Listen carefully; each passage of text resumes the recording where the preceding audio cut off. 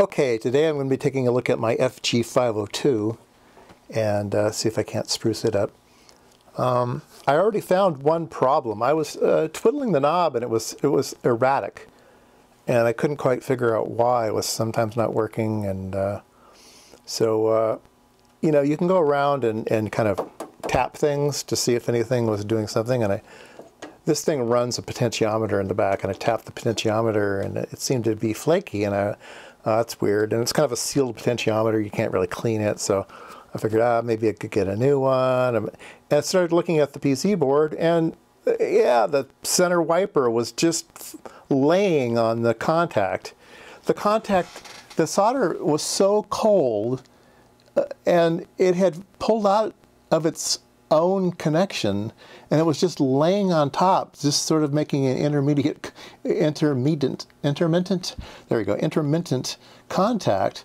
Uh, yeah, I'm not too happy with the soldering that uh, Tektronix did, but anyway, um, so I, I uh, cleaned out the hole and tin, I actually tinned the wire, and then after tinning the wire, I put it back in the hole and soldered it shut. So yeah, that's the way it should have been done in the first place. 10 year wires.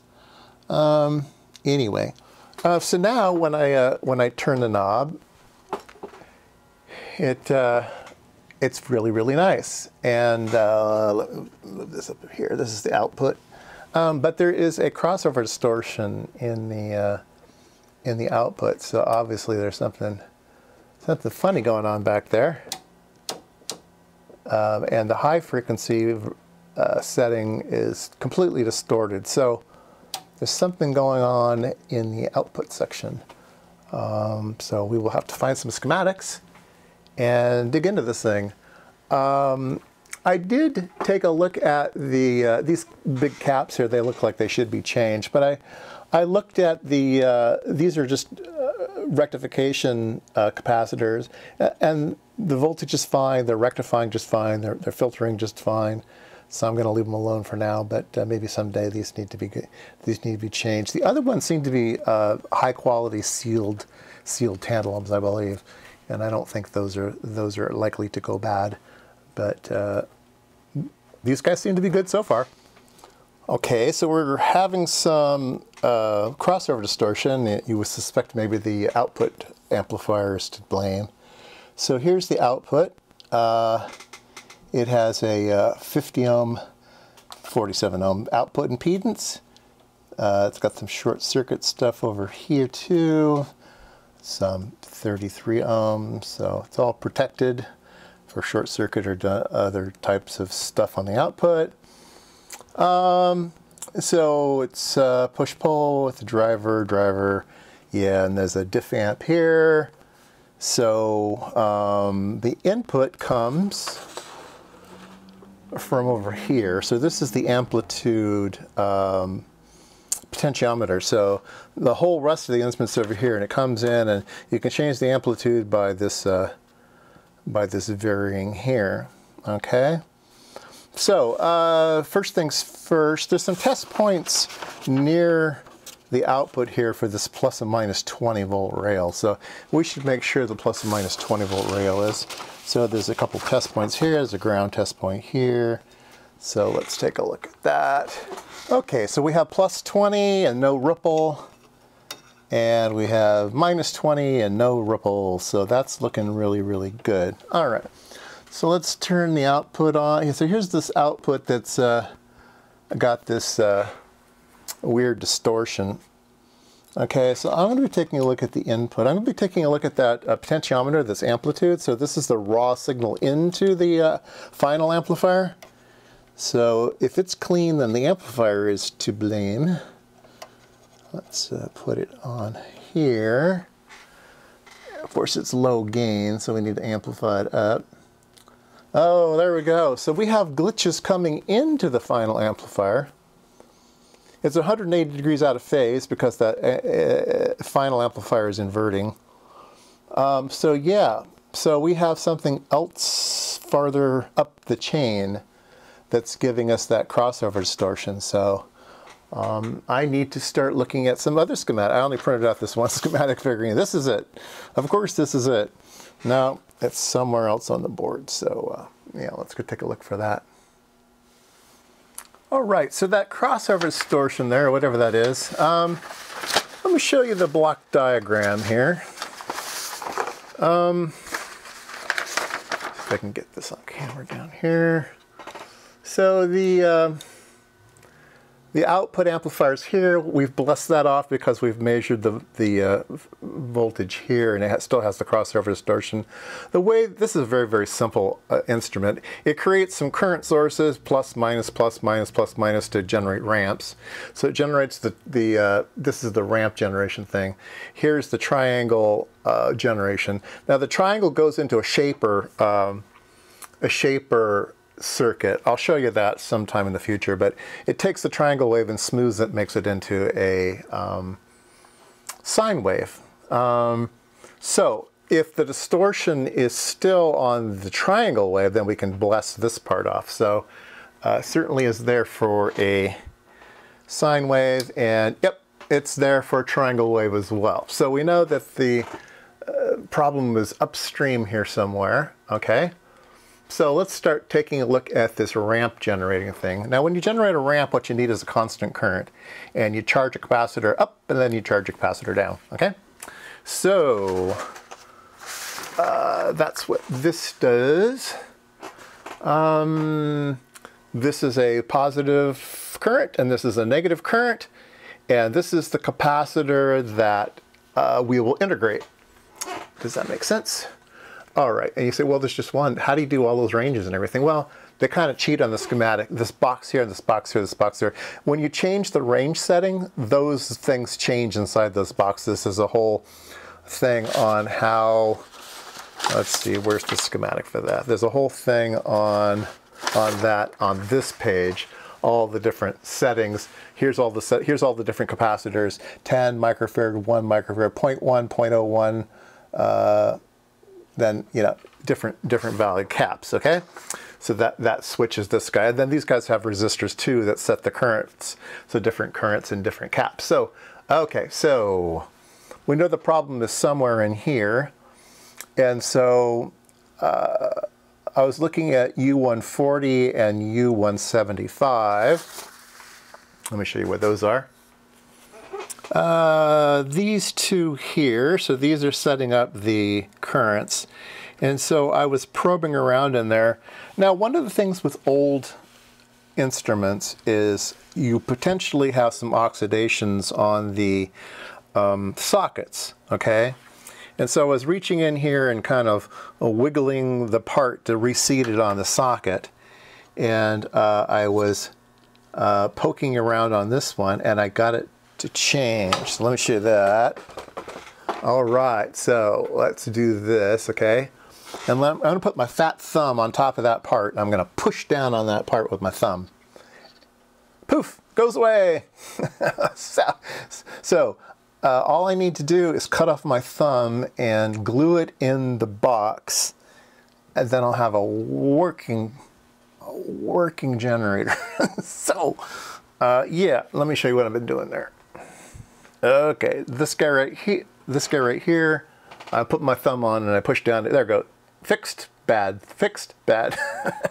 so there's some solder joint or something going on down here. I don't know if it's the part itself, um, maybe stress inside the patch package. I doubt it though. I bet you it's some type of dodgy solder joint or something. So we will flip the board over and look to see what we have on that side. Turn the power off, flip the board over. It's over here, over that away. Hmm. Oh, and there's a switch here too that it might be flexing. Hmm. Hmm. I don't know. There's a via hole there. Sometimes vias go bad in these old things. Um, but yeah, let me take a closer look at it, see if I see anything suspicious or not. And it could not, might not be those parts, it's just stressing the board around here, so need to take a close look at this.